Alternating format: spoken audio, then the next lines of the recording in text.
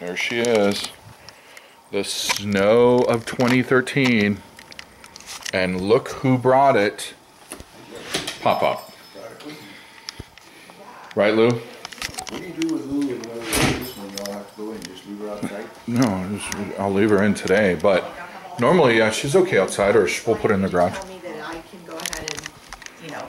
Finalize things. Like, you're good to go. Not all the paperwork's done, but I can even do it after he's been there. So move forward.